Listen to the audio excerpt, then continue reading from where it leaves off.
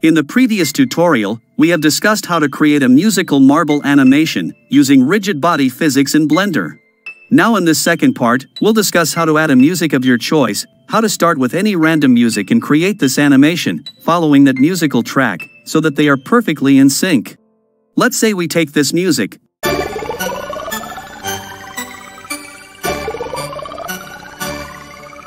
We'll create the musical marbles based on this audio file or this music.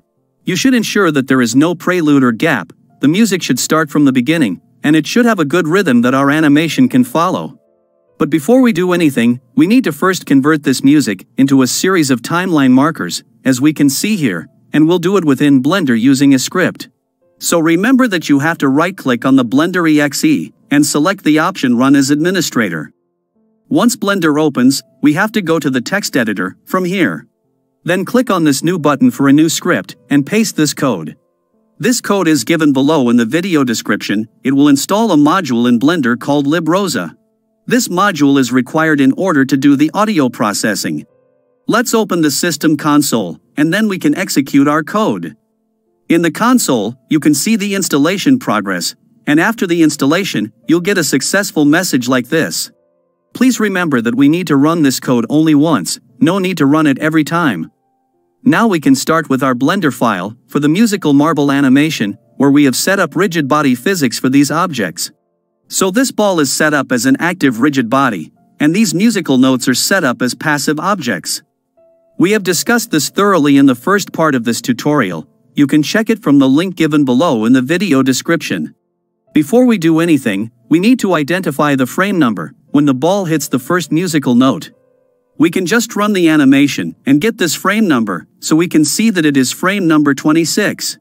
Now we'll add the markers in this timeline based on the music file.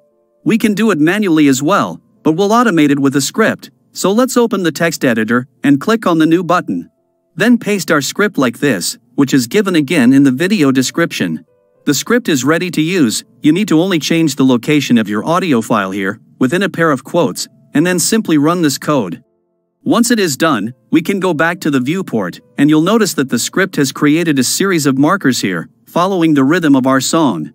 But we need to start this series from here, just when the bouncing ball hits the first musical note. So hover your mouse near one of the markers like this, and press G on the keyboard. Then move your mouse, and place it exactly on frame number 26.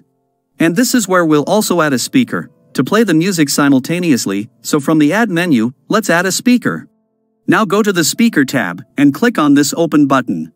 We need to select the same audio file here, which we want to convert into the musical animation. Now, go to the playback options and change this first option to sync to audio. Let's then play this animation from the beginning.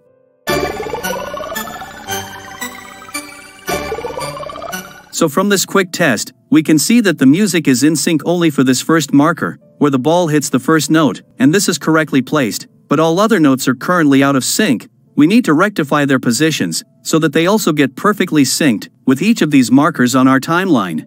So let's go to the frame, where we have the second marker, and we can see that the ball is here for this frame, but we wanted to hit this second note at this frame, so we need the ball somewhere near this location.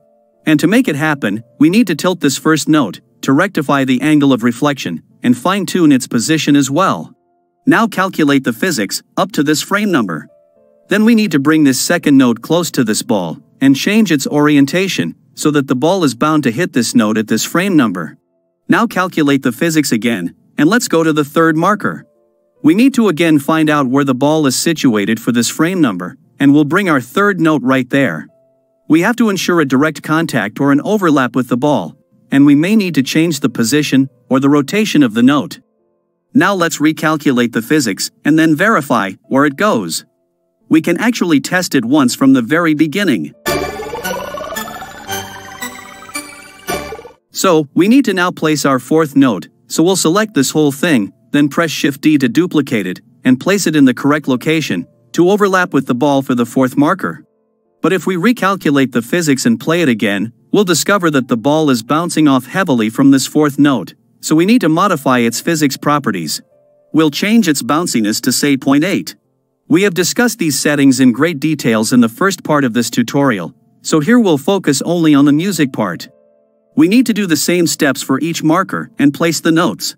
First calculate the physics, to get the position of the ball, then duplicate a note, and place it in the correct position, with a slight overlap with the ball, to get a collision. Let's calculate it again, and play it from the beginning to verify.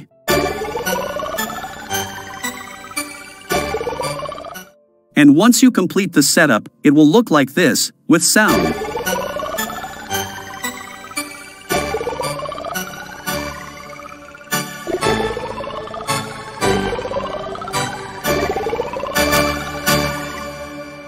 Now, we'll discuss about few issues that you may encounter while working with this method, and some issues that you have reported.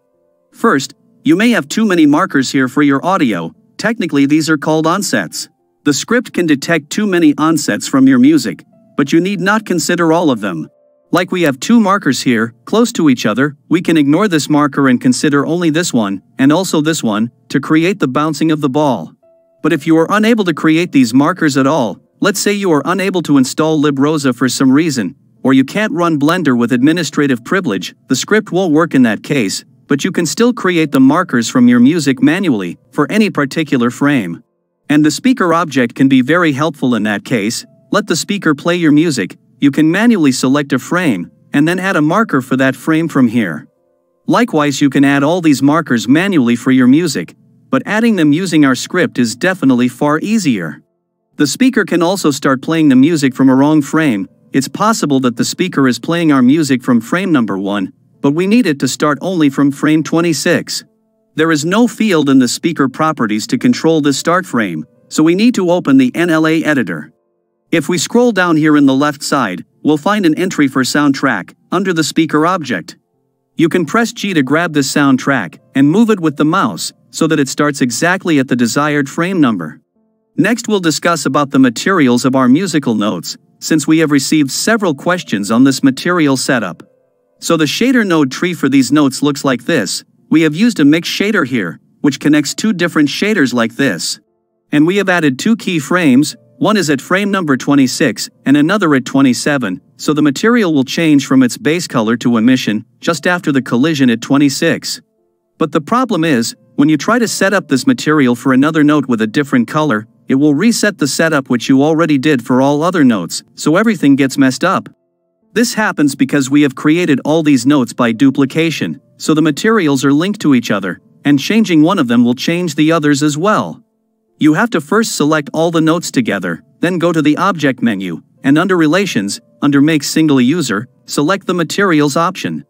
The notes will now have a private copy of their materials, and you can set up each of these materials separately based on the frame number when the ball is hitting a note. Then we can render our scene for an output like this.